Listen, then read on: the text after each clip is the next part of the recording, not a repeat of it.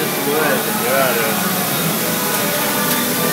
I'm the fact that there's now uh,